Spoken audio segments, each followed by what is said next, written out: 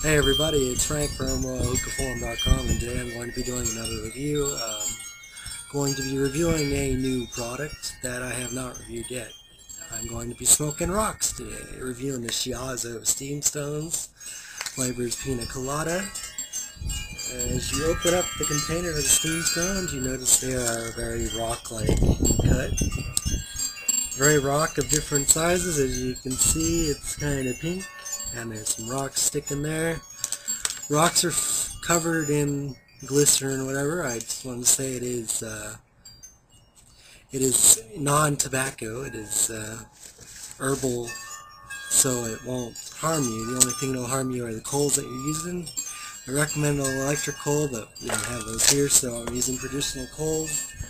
Using my beast toes as well. And been been steaming, that's what they like to call it, steaming these stones for 55 minutes. You uh, pack it in your regular bowl like you pack shisha, except you're putting rocks in the bowl instead of the shisha. Using my typical setup here in Hyderabad, 3D monochronic nets. These, these toes, let's check out the smoke quality.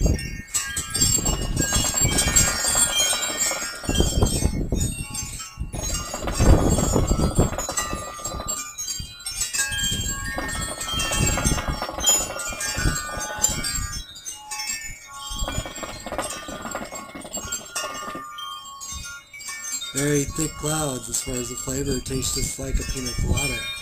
Very spot on on the flavor. As far as my thoughts on this, it's pretty innovative to uh, have an herbal, herbal, or be able to uh, steam stones is pretty pretty cool. So it's a nice alternative to the everyday smoke, and I'll give it a 7.5 out of 10. Until next time, it's been Frank with RoyalHookahForum.com. Shiazo, Steam Stones, Pina Colada flavor, 7.5 out of 10. Check out Royal Hookah Forum and my reviews. Till next time. Steam often, have fun.